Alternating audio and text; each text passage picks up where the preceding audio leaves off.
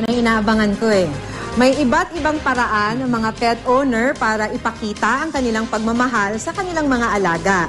Ang ilan, binibihisan at pinapakain ng mamahaling dog food ang mga alaga. Sa Dagupan City, higit pa riyan ang ini-enjoy ng mga tinaguriang saucy, Saucy dog. dog. Makibalita tayo kay Joy Segi ng GMA Dagupan.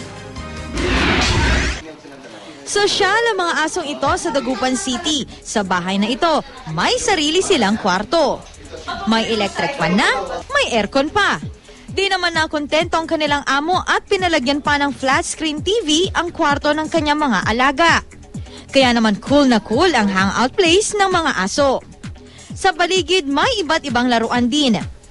Bida rin ng mga alagang aso pagdating sa fashion. Pinamimili lang naman sila ng kanilang amo ng mga gown na inirarampa sa mga dog show.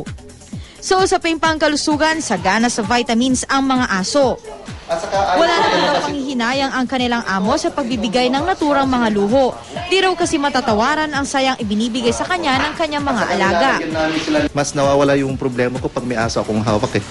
Ano, responsible pet ownership nga raw ang pag-uusapan, pasadong-pasado raw si Gilbert Cerezo.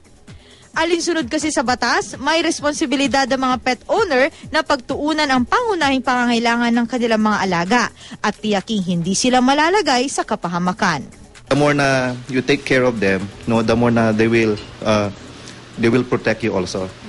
Joy Segi, Nagbabalita, Pilipinas.